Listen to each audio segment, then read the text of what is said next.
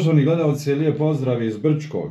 Moj današnji gost je vama dobro poznato lice sa mog YouTube kanala, Emir Bajrić, duhovni iscijelitelj. Salam alaikum. Alaikum salam. Emire, ja sam došao danas ponovo da razgovaram na temu crne magije, sihira, kako ih ko naziva, poznati u narodu kao sihiri i crna magija. Da, da. Sve danas više zastupljena. Da. Slušali smo kao djeca priče o crnoj magiji, o sihirima, ko šta kome to nešto radi, to je u prošlosti. Ali u ovo moderno doba, interesantno, umjesto da se to smanjuje, to se povećava. Moje prvo pitanje bi glasilo šta je razlog tome da je u usponu to nešto što nekome radi i zbog čega ljudi to inače čine jedni drugima. A onda ćemo svakako u razgovoru doći Da. do nekih drugih pitanja koji su Pa ja veoma sam- bitni i značajni, a za koje ćeš ti naravno dati pojašnjenje. Da, ja sam u, u prethodnim videu objasnio neke stvari, znači sihir se najviše pravi iz zlobe, zavidnosti, ljubomore, pakosti ili e, namjenski sihir, čime se dob, e, želi da nešto dobi. Objasni to, molim te. Namjenski da se nešto dobije. Namjenski sihir to najviše ide u vezi ljubavi. Najviše ili ide razvod braka ili, sa, ili da se neko udao ženi. Znači to je jako dosta na Balkanu prisutno. Ili da se vrati. Ili, pa to da se vrati ređe, najviše narasta u brak. To je najviše prisutno. E, na ovim područjima najviše se za te stvari koristi kosa, nokti, mrtvačka zemlja, mrtvački sapun. Onda e, uzimaju se sa štrika. e, Oprosti, molim te, to mrtvački sapun, da ljudima Dobro. bude jasno. Šta znači to mrtvački sapun? Pa uzima se na sapun. Znači osoba kada se, kada se kupa mrtvac ili gasuli, ta voda od gasolinja se koristi za te svrhe i taj sapun ili čak i taj mrtvački prsten. I šta se radi s tim? Pa, na primjer, ja sad ne znam to detaljno, pošto ovaj, ja skidam crnu magiju, skidam sihir, ne bavim se time, ali sam proučavajući iskustvom došao do mnogih stvari, jeli, kroz praksu preko 20 godina. Na primjer, e, ljudi su znali ukradu prsten, pa navodno podbaci se to, stavi se u kožu guštera pod prak, gdje se želi rasulo porodice ili na primjer mrtvački sapun pa se on jednim dijelom izreže pa se stavi isto negdje ljudima u kuću. Onda voda od gasolinja. Kupanje mrtvaca. da kupanje mrtvaca. Ta znaju te žene koje se time bave uhvate tu vodu pa sipaju u kafu sipaju u piće međutim e, sve to kad bi ja i ti to uradili nema tu nikakvog efekta. Znači, ljudi misle u ovom poslu, u tome da je to zdravo za gotovo. One, znači, e, nije samo stvar uzeti tu vodu i nasuti nekome. Šta Da, rade nije, oni sa tom nije. vodom? Jel nešto bajaju? Šta? Ne znam, učiti ne mogu reći da uče na to. E ovako, te žene koje se time bave, oni znaju kako to funkcioniše i oni imaju e, moć time baratati. Znači ja i ti isto kad bi to uradili nikakav efekat ne bi bio. Kao ljudi koji, koji, koji liječe Kur'anom, koji pale Kur'anom, oni moraju imati jedan, jedan dio duhovnog dara. Nije to tek tako uzmi vodu od gasoline, ali kaže krv menstruacije koja ide u kafu.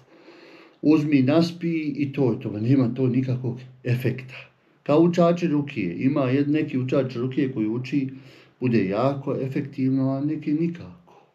Ili jedne prilike, sad mi skrećemo s temom, ali ćemo se vratiti. Jedne prilike, jedan moj prijatelj prije nekih 15 godina došao je sa suprugom i ja sam, učili smo rukiju, to je haos bio po sobi. Ovaj, I on je to malo pohvatao kako to ide, jer učila se sura Jasin, sura Elbe Kare i tako dalje. I sutradan žena mu je bila jako loša, jako, jako slaba, baš je bilo napravljeno gdje, gdje, gdje, gdje ne daj Bože nikome, znala je se ispod stola kao poput zmije se sabije. Znači, žena je odgurnula i mene i sto, bio i njegov tam neki rođak koji je tu sjedio, čovjek se i on počeo trest, hoće da bježi kad je to vidio te scene, ja mu kažem, sjedi ovdje pored mene, nemoj nigdje ići. Kad si, još je čovjek, ono, baš je jak i hrabar, ali eto, u tim situacijama budu jaki, oni najjači i jako slabi. Jer to je nešto nadnaravno. I nema čovjeka. Nema čovjeka tri dana, četiri dana, ušutio je se on, niti me zove, niti ja njega, ajde, ja sam bio nešto zauzet. Kad četvrti dan dolazi on, šta je bilo, spašavaj me, pa gdje mi reci šta je od čega, pa kaže, molim te spasi, da ću ti šta hoćeš, pa šta je u pitanju? Kaže, ja sam ono, pohvatao šta ti radiš, kako to funkcioniše i tamo učio to svojoj bivšoj supruzi, koja je se ispred vrata tresla, šta ja znam šta je se sve dešavalo, uglavnom sve je dobro bilo dok on je legao spavati. E, kad je legao spavati, tri noći ga je u krevetu u noći dizala. Znači, budilo ga, nije mu dalo, dalo, dalo spavati. Nije mu dalo nikako da može normalno funkcionisati. Ja njemu kažem, nije tvoje da radiš to. Nije ti si trgovac i tvoje da trguješ. Kao mesaru i njegovo je da reže meso, da sjeće meso, da prodaje. Kao doktoru je da liječi, jeli, medicinom. Kao učitelju je da uči djecu. Kao imam hođi, njegovo je da bude u džami. Nisi ti za toga. I eto, hvala Bogu, mi smo to otklonili. Isto mi je se desilo jedne prilike što ja sam u prethodnom videu tamo naglašavao neke stvari. Ustao sam na sabah, bilo je, zima je bila, 4 sata ujutru nekako. Nije 4 sata, oko 5 sati, znam da je bio rani sabah. I ono, s obzirom da su djeca mala bila i zajedno smo svi spavali u jednoj sobi zimski period, kad mali moj nije imao ni 4 godine, Kaže, baba, baba, baba, baba, gdje nosi ovu zmiju sa mene? Baba, gdje nosi, neko je počeo u sabahsko vrijeme gatati na dijete. E sad, ono što želim da se, kaže, da se vratim, voda od gasolinja, mrtvački sapun, prsten, e, neki biljek mrtvaca. To su sve jako opasne i pipljive stvari. Ljudi to uzimaju zdravo za gotovo, i uvijek preporučujem nemojte se igrati s time.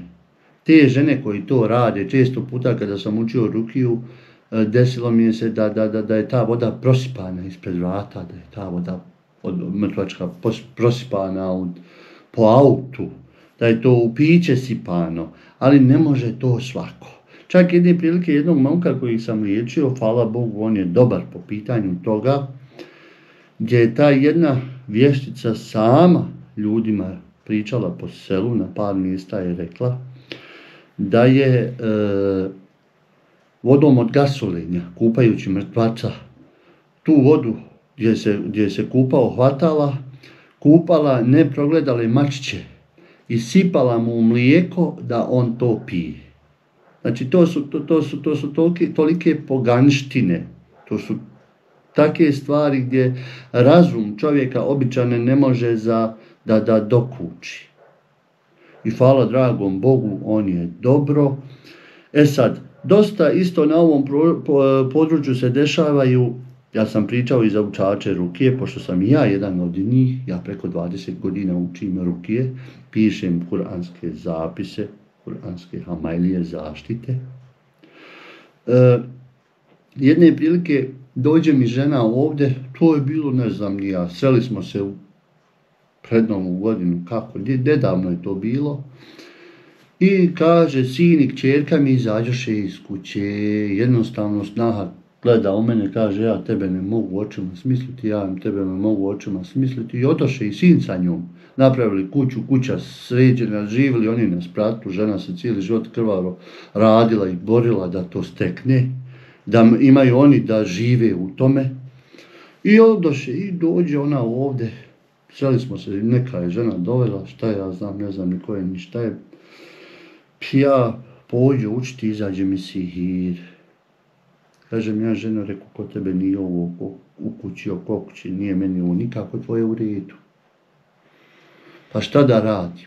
Išla ona na više mjesta, rekao, evo tebi, stavit ćemo zaštitu iznad vrata, stavi zaštite oko kuće, u zemlju, kuranske zaštite, evo ti voda, evo ti zapisi, pi i saburi. Nemoj nikog da okriviš, nemoj da bi optuživala, optuživala nekoga, da bi ovo, samo čuti i normalno funkcionuje. Međutim, ona kad je meni ovdje bila, kaže, ja znam ko je. Kaže od muž, muževog brata, žena, oni su tu bili kuća do kuće, uglavnom oni su se i tukli, i policija je dolazila, i zaku se čupali. To je, I ona je, ona je moj dušman i nema, nema, nema drugog samo je ta žena. To, ajde, rekao, ako ti znaš, ja ne znam koja, ali eto ti znaš, Allah zna najbolje. Ili najveći učenjaci, ali mi kad sve slože na svoje mjesto, zadnje riječi kažu Allah zna najbolje. I očito da samo Allah zna najbolje, mi ništa ne znamo. I ne prođe nekih 15 za da, eh, dana, zove ta mene žena. Salam alaikum, alaikum salam. Emire, da znaš šta je se desilo. Pa reko šta, aj, da znaš Emire šta mi je se desilo. Pa što ti je se ženska glava desilo? Pa kaže, ne mogu ti pričati, pa šta je, jesi li ubila nekoga? Kaže, nisam. Jesi li nekome napravila sihir, ne daj Bože? Pa kaže, nisam. Pa šta si treće uradila, to toliko, nisi ubila, nisi pogat, napravila nikom ne gataš. Kaže, ti znaš da ja imam ovu, kako se to zove, zava, jel tako, ne znam, nija sam. Ovaj, kaže, što smo se tukli tamo, vamo, što ja sumnjam na nju, pa reko znam. E, kaže, ima jedna živi druga zava koja živi u inostranstvu. I s kojom su krišku hljeba dijeli, cijeli život su skupa. I kaže, od jedan put je se pojavila i došla je sama. Nije došla ni sa kim, znači sama je došla. I nama je začudo bilo, nikad nije bez djece, bez muža dolazila. I ja stojim i ona priđe o, o, ovaj, ogradi i kaže, eto da ti kažem ovo sve u kući što ti je. Sve sam ti ja ovo uradila i ovo sina i snahu, sve sam ja to uradila da on od kući. E to želim da kažem, nemojte sumnjati na nekog dok se svojim očima ne uvjerite. Znači, ljudi među ljudima prave haos, učači rukije naprave haos, džini lažu, džini petljaju. Kad si već kod te priče, da. sihr znači skriveno. Da.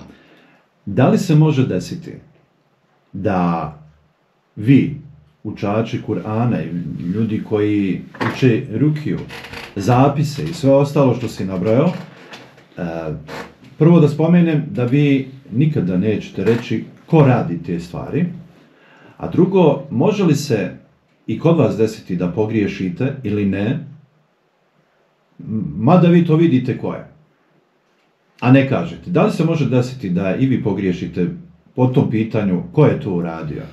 S obzirom, opet ponavljam, sihr znači skriveno. Evo. Malo prije si rekao i da, i da džini lažu. Mm. Tako da, zanima me odgovor na to pitanje. Evo ovako, u 90%, u 90% kroz moje iskustva, iskustvo, pošto ja s obzirom pet godina učio striktno samo ruke, na med, maslinovo ulje, e, vodu, onda čurukutovo ulje se troši, to ima ta procedura. Jer Božji poslanik, sallallahu alaihi ve sellem, je liječio rukiju. I to je najispravniji. I to je šerijat. I to, na to nema prigovora. Međutim, mi u 90% griješimo e, zato što mi e, pričamo ono što ne vidimo.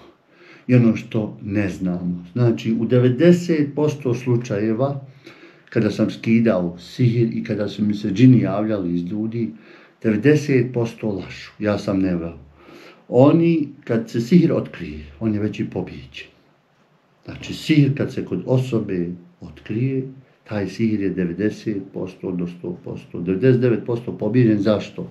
Ako nema kod jednog učača rukije, ima kod drugog lijeka. Pa se ide na 100 mjesta dok se ne nađe lijek. E, neko će sada postaviti pitanje, e, Kako? Kod tebe može, kod onoga učača ruke ne može. E, to je ta duhovnost. To je ta, to je ta duhovna strana, to je nutrina čovjeka. To je ono što mi imamo ovdje na ovom području. Jel se može to reći kao snaga učača, poznavanje, Pa to je- bolje ili manje? To je, e, to je duhovnost, to je, to je iskrenost, to je bliskost Allahu. To je čistoća u vjeri. To su dijela. Jeli? Hajde recimo, aj vas dedo, ja opet da kažem, meni je najlakše danas 50, 70, 100 ljudi sabrati, uzeti lavore, ulja, meda, maslinovog ulja, vode, zemzem i ti staviš dva mikrof, dva zvučnika, tri, pojačaš i pođeš učiti. E onda se ljudi klate, pa to je ovako, jer pravo učenje ruke se e, praktikuje kad osoba sjedi u miru. Ono što, bi, što najviše treba da se, ti, čovjek treba osobu po osobu da pregleda. Da ostavi vrijeme za svakog barem po 5, 10, 15 minuta. Ne može od 50, 100 ljudi od jedan put da se to radi. To je više prepadanje, nego pomaganje i utjerivanje ljudi, e, ljudima strah u, u kosti. E sad, ono ta duhovnost, na primjer, ja sam se razmišljao, meni je najlakše uzeti mikrofon, učiti određene kuranske ajete, u- određene kuranska sura, iako je od Kurana sve lijek, sve što se prouči. I to, to je jednostavno i lako. Međutim, ovo čime se mi bavimo, to je ipak, to je nauka i gdje jedni podržavaju to, gdje jedni ne podržavaju, gdje kaže ko zna s kim zna i napraviti, ko piše zapise, hamajlije, on je sahir, on je sihirbas. E, e sad da se vratimo na ovo. Aj vas dedo je 40 sabaha klanjao i 40. sabah usnio je kako se dva ovna sudariše, prepolovio je stijenu i potekla je voda narodu, da se narod time koristi. E zamislite vi tog čovjeka, nam Allah Đeršanu podari sve najbolje dženeti, da se mi na sudnjem danu sretnemo s takvim ljudima, da nas Allah počasti pa barem kao njihovi prijatelji, ako ništa. Zamisli kakav je to čovjek i kakva je to duhovnost, koja je to duhovna moć, koja je to duhovna snaga, ono što oko ne vidi. E zašto se vraćam na ove stvari? Sjedio sam s jednim starim djedom, prije nekih 20 godina, koji je jednako bio, cijeli život je radio, bio je hođa, radio kao imam i on mi je pričao. Tamo u selu negdje bio je slijep čovjek koji ništa nije vidio.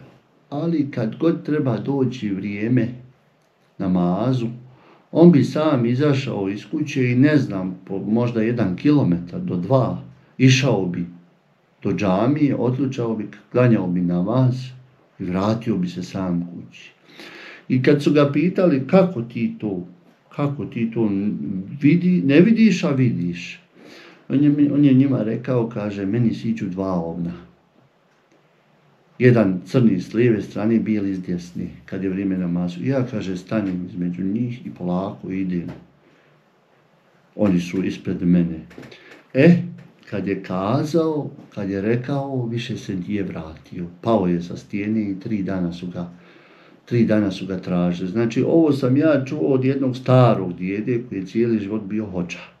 Znači, nije ovo neka priča iz neke knjige, tamo, vamo, drži ga, ne daj ga.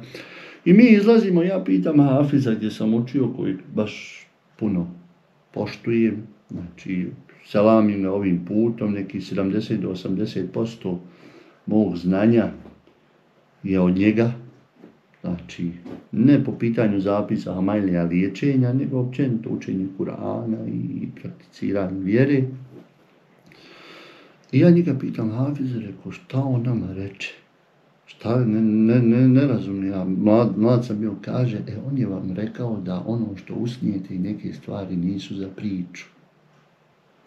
Kao što mi je Rahmetli moja rodica rekla, s obzirom da sam cijeli život u ovoj nauci, kaže, ovaj, kad sam bila u ratu, ovom nesetnom ratu, koji, koji nikome sreću nije donio, I kaže, u pola tri, u tri sata ustanem u noći da zagrabim brašna, da, da, da, da, da nešto, je, nešto je radila, šta. I kaže, ruke su mi svijetlile. I tako tri, četiri noći ja sam rekla na jedno, dva mjesta i nikad više nisu. E to je ta, to je ta, to je ta duhovnost, to je ta nutrina, to je ta ljepota vjere koju mi imamo ovdje na ovim pro, uh, prostorima. Mi smo dosta vezani za Kur'an, za čistoću Kur'ana, za Božijeg poslanika, sallallahu alaihi wa sallam. Dobro, to e, kada je riječ o ruki. A kada pričamo o zapisima, hamajlijama ili amajlijama, Da. e, vodi koja se pije, učevna voda, na koji, neki to kažu da je u redu, a opet drugi, nazovimo i, možemo i nazvati učenjacima, e, kažu da nije u redu. E sad, Evo ovako, moje gledište je ono što sam ja učio i što, što sam ja dok učio. Oni što kažu da su haram zapisi Hamajlije, da to ne podržavaju, oni su u pravu. A i oni što kažu da vjeruju u to, i oni su u pravu. Znači, i jedni i drugi su u pravu. Kako? Za vrijeme Božeg poslanika, sallallahu alaihi wa sallam, nije bio Musaf. Znači, nije bio Musaf. On je imao Musaf u rukama. Nego posle njega jedan halifa sabrao učače, hafize Kur'ana i onda su ispisali knjigu Musaf. Znači, prenosilo je se iz prsa u prsa učenjem. Tako bilo hurmetom, jeli, Božih poslanika, sallallahu alaihi ve sallam. E, Znači, ovo čime se mi bavimo, to nema nikakve veze sa zapisima i hamajlijama. Amulet, hamajlija, to je nešto okačeno, nešto zakačeno. Znači, e, hamajliju nositi jeste e, haram, a to se podrazumijeva e, krilo slijepog miša, zub nekog medvjeda, e, zub vuka, amblem nekog junaka, to je, to nema, ovo što mi dajemo, to su striktno, to su kuranski ajti, to je Allahov govor. E, Vefkovi, to oni dolaze od Sufija, ono dolaze od, to je opet, to je opet neka kao druga tematika, ali ono što naglasim, kažu ljudi, to je haram, to je širk. E sad, ako čovjek piše Allahov govor, i dadne čovjeka da nosi, da ga čuva. Kako može biti širk, nešto što ne valja od, od dragog Boga, njegova riječ, njegovi ajeti. To je kao kad ja skinem košulju sa, tebe, sa sebe ili jaknu i ogrnem te na minus deset. I možda li tebi ta jakna štetiti? Ono što ne treba i, i, i što e, nikako ne ide jeste da se, ako je kuranska zaštita, znači ako je kuranska zaštita, da se s time ne ulazi u WC dok se ona ne omota, dok se ona ne zaštiti, znači mora se u neku foliju, celofan, da to bude izolovano. Znači, međutim, e, po pravilu zapisi, pogotovo hamajlije, one čovjeku ne trebaju. Ali ukoliko se čovjek drži Božih puta, ukoliko se čovjek drži Kur'ana, ukoliko čovjek praktikuje, prakticira vjeru. to je u tim slučajima Da, u tim treba slučajima, da. Međutim, ono što se dešava jeste ljudi e, kad uđu, ljudi koji su pod sihrom, ljudi koji ne poznaju vjeru, ljudi koji nisu u vjeru, ljudi koji nisu islamske vjeroispovijesti, e, pa barem za početak moraš čovjeka nekako zaštiti, moraš mu pomoći. Jer e, ja sam, ja sam imao, znači, e, učeći rukiju, e, po dva, tri, pet mjeseci skida se s čovjeka sihir i kroz dva mjeseca ponovo mu napravi.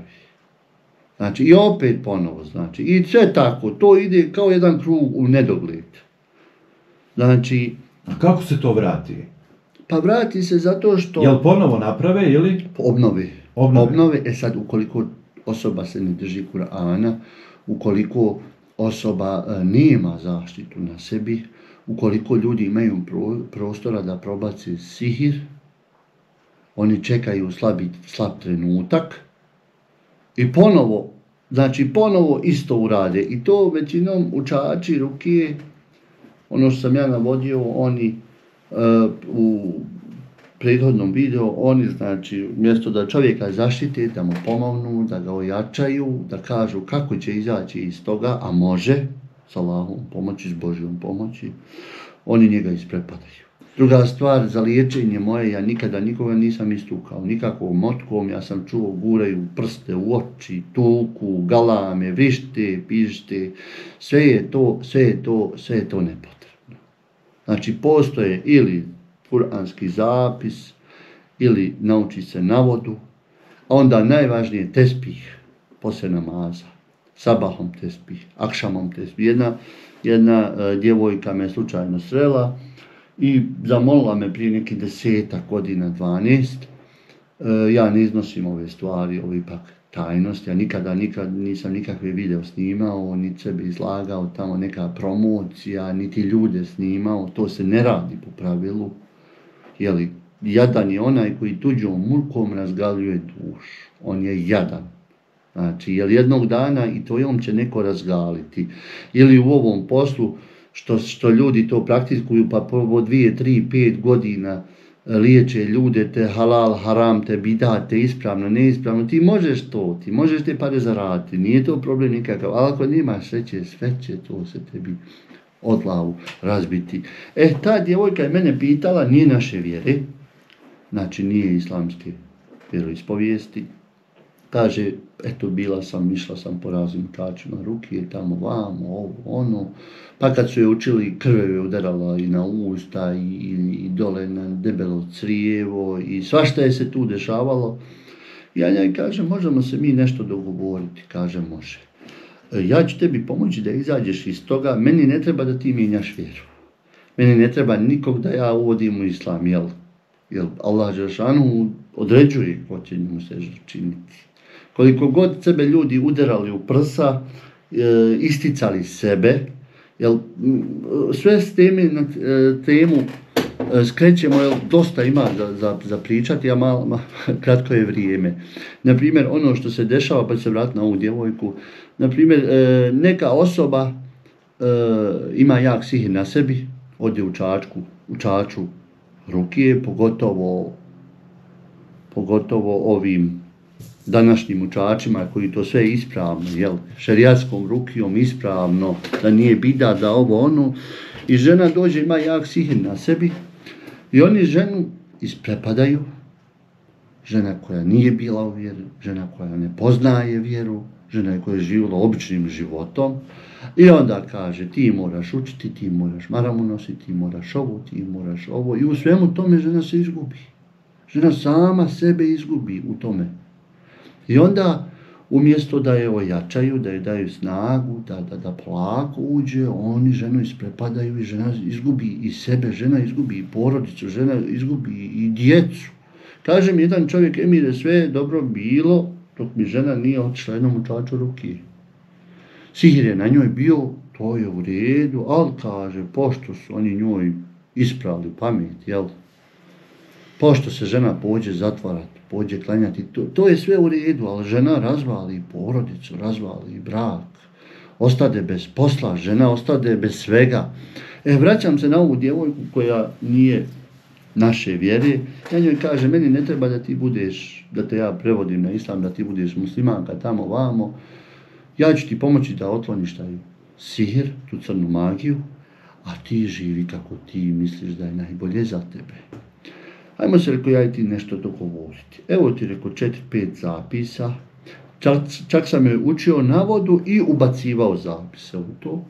I ti mene pozor, ustani u sabahsko vrijeme, uzmite spih, prouči po 333 puta la ilaha illallah, subhanallah, Allahu ekber, i kad dođe akšam po večerje. Ti to praktikuj, samo budi čvrsta u tome. I ona kaže, ja hoću. Ali opet ja kaže, meni ne treba da minjaš vjeru, meni treba da ti skinem crnu magiju, da se to otloni s Božjom pomoći. I ona je uzela i, i nekih, ne znam, nija dva mjeseca, hvala dragom Bogu, nikada više za ovih 10-12 godina nije bila bolesna.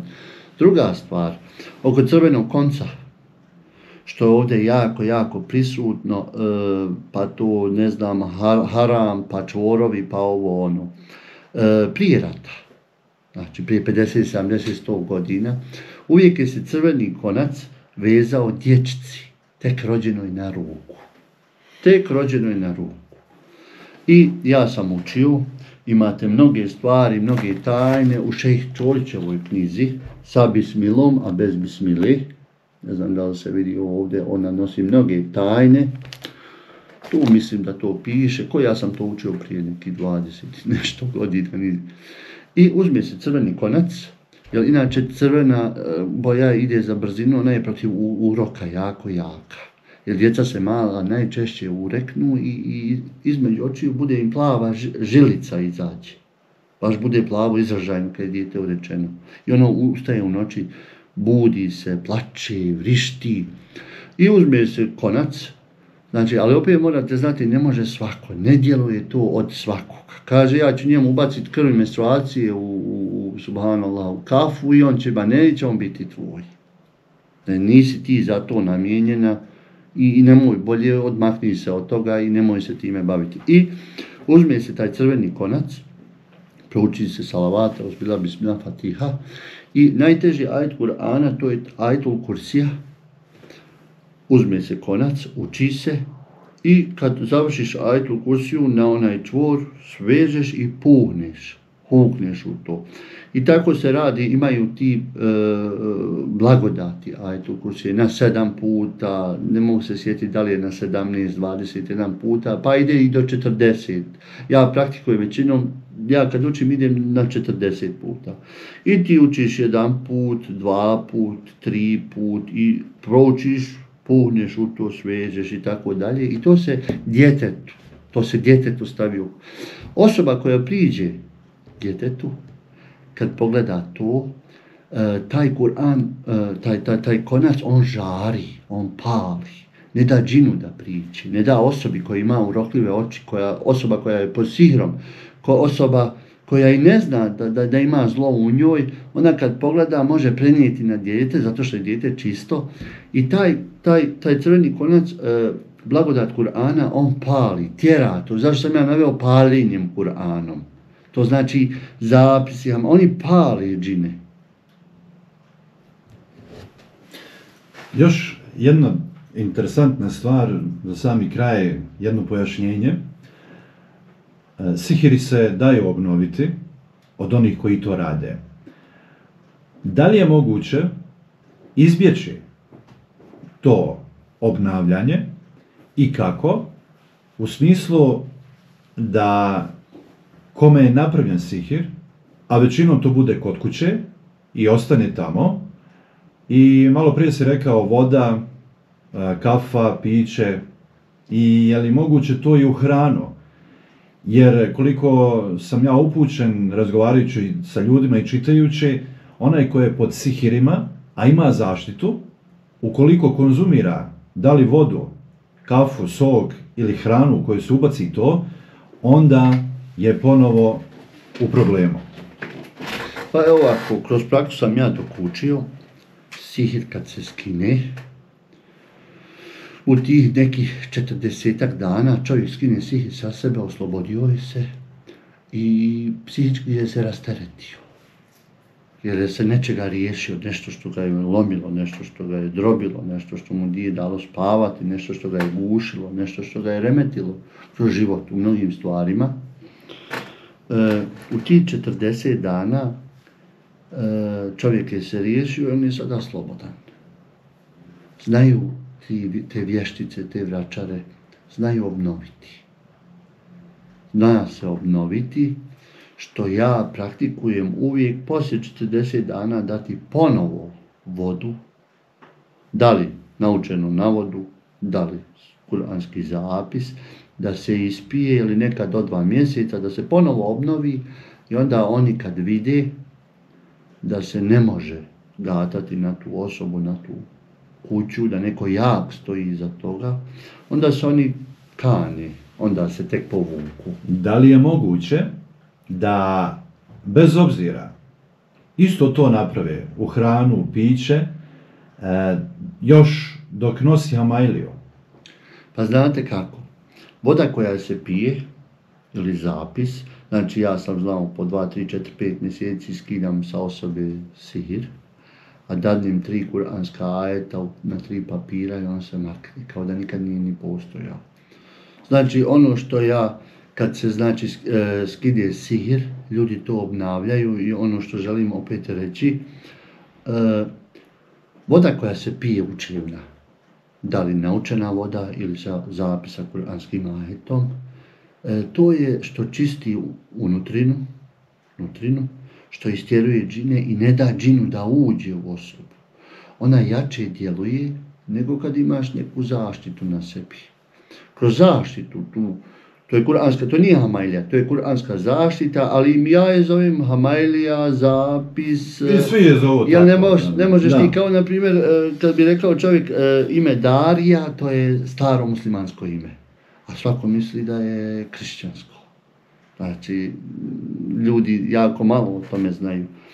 I, na primjer, e, kroz Hamailiju, kroz tu kuransku zaštitu, može se probaciti jako lako ukoliko osoba ne praktikuje neke stvari. Na primjer, zaštitu se, zaštitu se može probaciti osoba koja ne praktikuje vjeru ili daš, daš osobi, osobu zaštitu, Hamailiju, on uzme pa alkoholom zalih.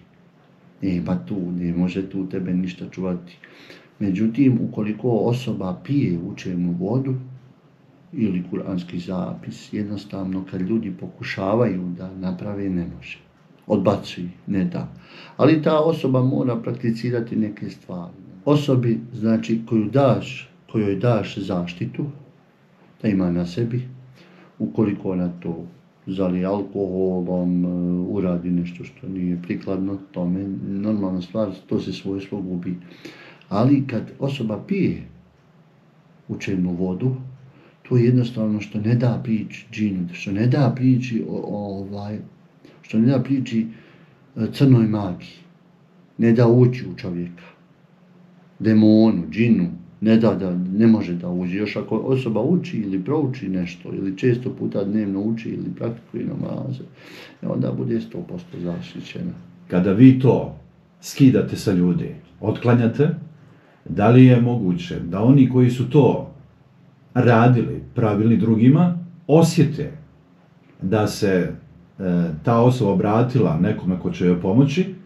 I drugo pitanje, i ostavit ću nešto i za drugi put, je li moguće kada vi otklanjate te sihire od ljudi, da isti ti sihiri se vraćaju, to jeste džine, onima koji su to pravili i da njih poslije napadaju zbog toga? Pa ja sam to navodio, navodio za mlijeko. Vještice što uzimaju pa se mažu, u noći užu kravama pa muzu krave, pa krene krv na vime kad se muze. E, one se brane time, ali ne mogu se odbraniti. Znači mi kad učimo, mi imamo dove, imamo kuranske ajete, imamo vodu, imamo mi svoje metode gdje automatski možemo vratiti i može, onda bude kobno po njih. Ja sam imao jedan slučaj gdje od moje rodice i prijateljica druga godina fakulteta, e, to je bilo davno, prije 20 godina, e, djevojka je zablokirala u svemu. Ne može, ne ide dalje, ne ide, ne ide, ne ide. I došla je s mojom rodicom da proučim rukiju, da vidimo šta je ja kada sam učio Pođem mi iz nje govoriti džin. I kaže, vještica se javi, ja sam joj napravila tamo vamo, drži ne daj. I ja sam rekao djevojci šta će učiti, šta, kako.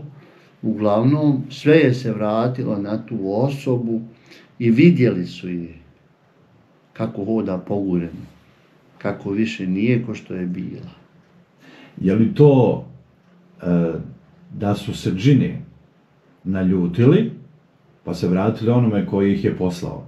Ja možemo tako reći, nije, ili šta? Nije, nije. Istina i pravda uvijek pobijeti. Znači, istina i pravda. Evo ja ću na, na, na, navesti jedan primjer. Opet gledam šta ljudi rade oko mene. Nisam nija savršen.